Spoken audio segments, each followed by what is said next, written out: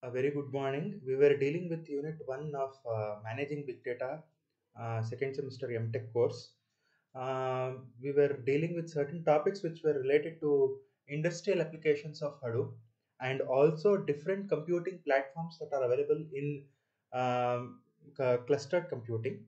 So, one of the platforms that we are discussing today in our uh, online class session is on volunteer computing.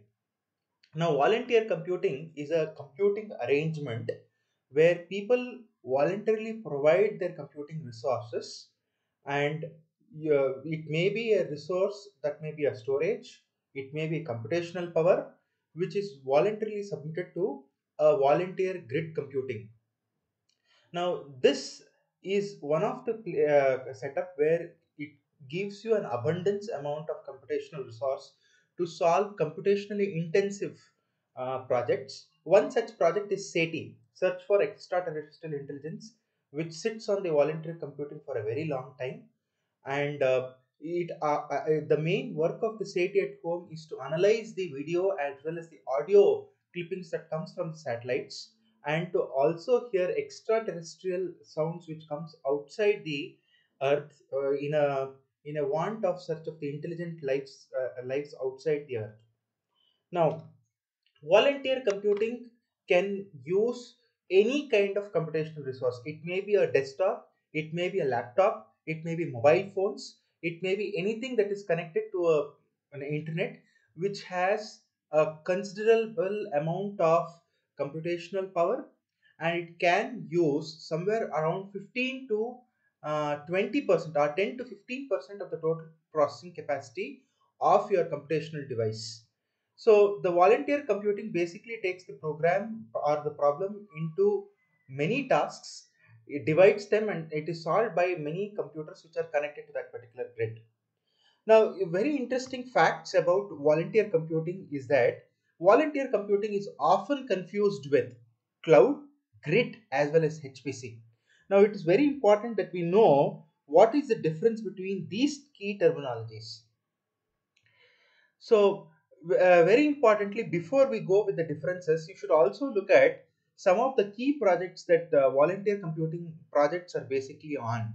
One of them is ABCV at home, which is used for mathematical computations by University of Leiden University.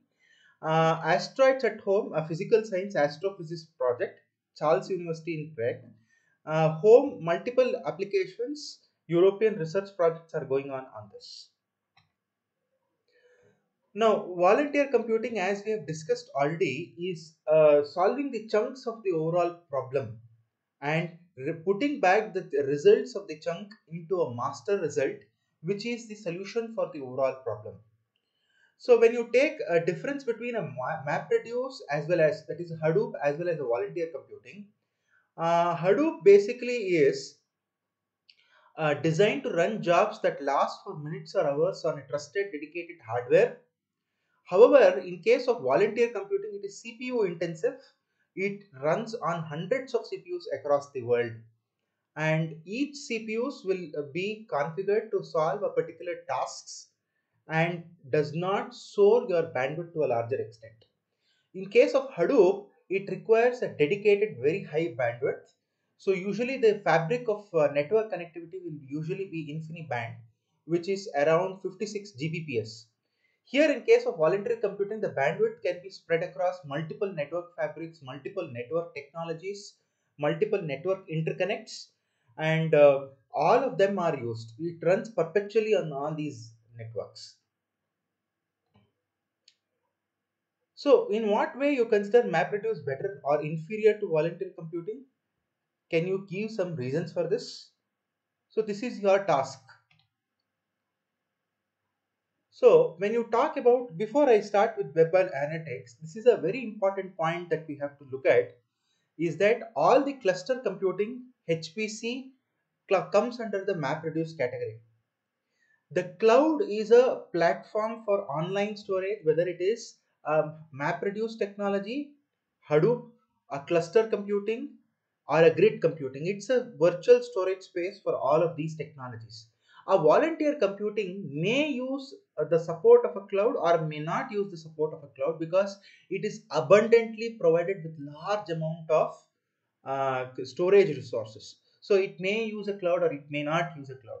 So to answer this first question of what is the difference between a volunteer computing versus the cloud versus grid versus HPC, this is the answer for it.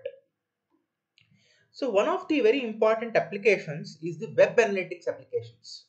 Now this web analytics application is to analyze the study of users and their impact in the websites. So some of the very important web analytics uh, is used for the e-commerce companies where the returning number of users are very very important for them. So what are the measures that uh, has been taken up by the web analytics softwares? How many people visited their site? How many of those visitors were unique visitors? How many came to their site, followed a link to get to a site or came directly? What keywords did they search on the site's engine? What links did they click on and what they left aside in the site? How long did they stay on the given page or on the entire site? So these are some of the key questions which are basically a metrics for the web analytics softwares. Okay, now web analytics softwares are basically monitoring softwares. They are used for monitoring the analytics of a particular page. For example, Google has its own analytics, Google web page analytics, where it stores the stock of the number of page hits uh, from different countries, from different IP addresses on a particular site. And this is freely available. Anybody can go into Google. Under that Google, you have apps under the apps you can go, go for Google Analytics. You can search for any websites uh, for its analytics. For example, if let's say that you have created your own website. So this own websites what you have created, you can find out what is the analytics on that particular website, whether your website is popular or not popular.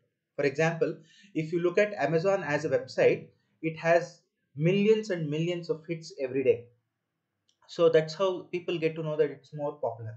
Even in the web search engine uh, google search engine the placeholder of first item in the search after a keyword is being searched is based on the page ranking and the analytics what you performed. Okay? So now uh, uh, typically talking about web analytics it's a very important web strategies business strategies for today and it is a very key parameter in understanding how businesses are going online So determining which area of the sites are more popular, which area of the sites do not get a traffic is another important outcome of web analytics. Web analytics provides the site administrator uh, uh, publishers with data that can be used to streamline the websites to create a better user experience. So what matters uh, to marketing? the, ma- the matters that mat- matter a lot to the marketing is on the essential raw materials ingredients the production the product work the uh, the the way in which the market takes its decision on this particular topic